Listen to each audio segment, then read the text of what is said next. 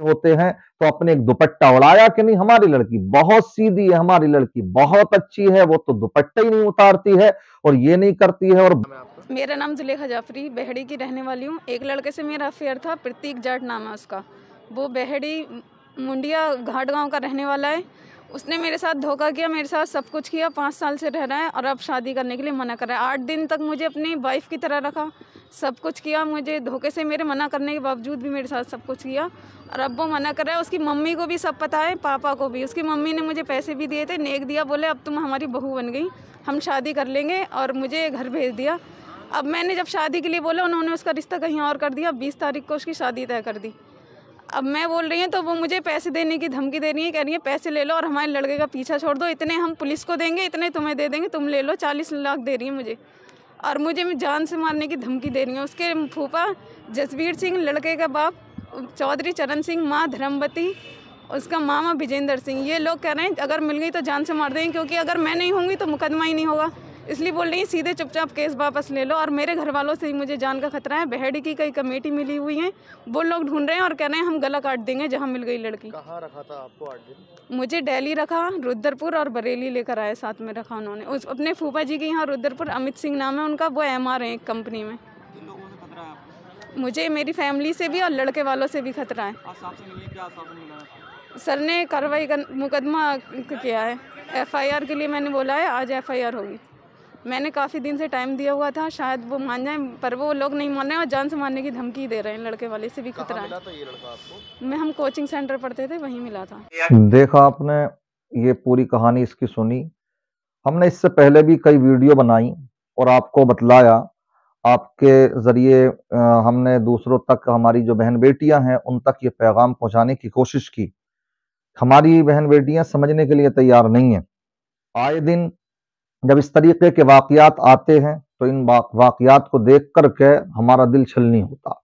हमें अफसोस होता, क्या करें आखिर ये हमारी वो लड़कियाँ, वो बहन बेटियाँ, कि जिनको अल्लाह ने कितनी इज़्ज़त दी, ईमान की दौलत से उनको नवाजा, वो माँ बाप जिन्होंने कितने प्यार से, लाट से इनको प्यार इन पाला, लेकिन ये उन पर भरोसा नहीं करती।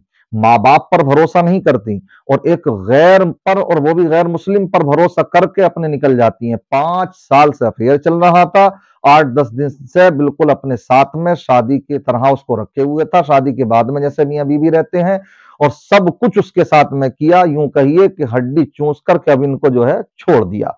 अब ये ना इसी को कहते हैं कि ना धोबी का गुट्टा, ना घर का, ना घाट का। यही हुआ ना इनके साथ में। अब क्या करें बताइए ये। अब अपने गुहार लगाते फिर रही हैं। कुरान ने जो बयान फरमा दिया कि ये बेईमान, जो भी ईमान वाले नहीं लाएतबार हैं। मगर नहीं आती है ये बात समझ में। अब बताइए, इधर इनको अपने माँ बाप से, जिन्होंने पाला हो, उनसे भी खतरा हो रहा। कैसी मतलब आफत टूटती है घरों पर जब आती हैं? ये क्यों होता है आखिर? उसकी वजह ये होती है कि इन्होंने एक चीज़ बयान फरमाई कि इनसे जब पूछा गया कि ये तुम्हारे टच में कब से आया? तो जब जवाब दिया कि कोचिंग सेंटर में हम साथ में पढ़ते थे, सुधर जाइए आप समझ जाइए आप कि ये जो मामला आते यकीनन उसी के हैं कि हमने जो अपनी बहन बेटियों को आवारा कर दिया, किसी के साथ भी भेज देते हैं। हम ये देखते ही नहीं कि वहाँ पर लड़के लड़कियाँ आपस में मिल सकते हैं, अगर एक साथ वो भी पढ़ रहे होते हैं तो अपने एक दुपट्टा उड़ाया कि नहीं, हमारी लड़की बहुत सीधी है, हमारी लड़की बहुत अच्छी है, वो तो दुपट्टा ही नहीं उतारती है और ये नहीं करती है और बुरका नहीं उतारती है। मैं कह रहा हूँ, ये इन पर निगरानी रखना पड़ेगी आपको, तभी ये हो सकता है, वरना इसका यही नतीजा निकलता अब उन घर वालों को, लड़की के घर वाले मुआशरे में, खानदान में, कोई इज़्ज़त नहीं रही, इज़्ज़त उछल चुकी तार तार हो चुकी हैं और साथ साथ उधर जिसके साथ इसका अफेयर था, इसने जब उनके खिलाफ मुकदमा किया तो परेशान वो भी हैं।